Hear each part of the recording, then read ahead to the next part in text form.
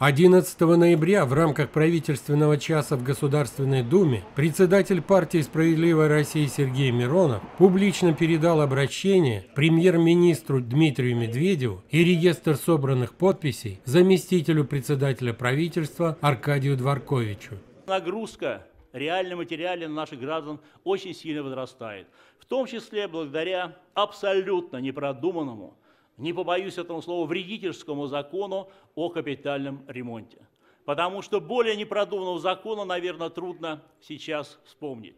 Сегодня люди криком кричат, не понимая, почему они должны платить в разных субъектах федерации абсолютно по немыслимым тарифам. Москва 15 рублей за метр, а Петербург почему-то 3,60. Люди не понимают, почему они должны платить так называемый общий котел, из которого будет чиновник брать деньги – и за их счет ремонтировать чужие дома. Кстати, благодарю тех коллег, которые подписались под запросом в Конституционный суд, чтобы все-таки выяснить, насколько эта норма конституционна. То, что сегодня люди видят несправедливость в этом э, законе, когда э, старики, которые 100% не доживут до капитального ремонта, вынуждены платить из своих нищенских посен, э, пенсии становятся совершенно очевидной. В этой связи, уважаемые коллеги, нами, нашей партией, собран миллион подписей граждан. Эти подписи сегодня отправлены в правительство. Я прошу вас, уважаемый Аркадий Владимирович, передать это обращение э, председателю правительства господину Медведеву. Партия «Справедливая Россия» будет с нашими гражданами, мы будем добиваться справедливости в заведении порядка с, с платой за капитальный ремонт. Спасибо за внимание. Депутат фракции «Справедливая Россия», первый заместитель председателя Комитета Государственной Думы Александр Бурков передал в правительство России 36 коробок с миллионом подписей граждан против поборов на капитальный ремонт, собранных «Справедливой Россией» в 30 регионах Российской Федерации. Вот миллион для Медведева миллион подписей граждан России, которые требуют отменить поборы на капитальный ремонт. Уже э, много об этом законе сказано.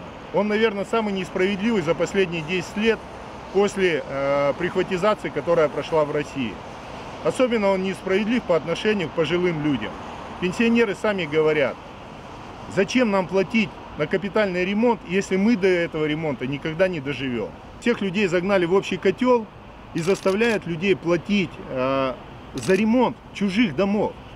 А люди сами стоят десятилетиями в очереди на ремонт своего дома. Вот в чем несправедливость этой системы капитального ремонта, которая продавила партия «Единая Россия».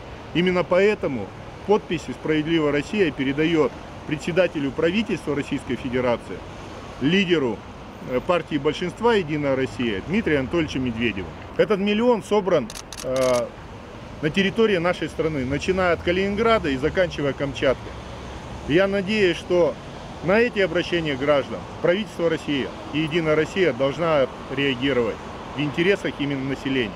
Пока закон не будет скорректирован в интересах собственников жилья, пока народ не будет принимать участие в этой программе капитального ремонта, не будет контролировать сами ремонты, контролировать расходование средств, то в нашей стране программа капремонта как не работала, так работать и не будет.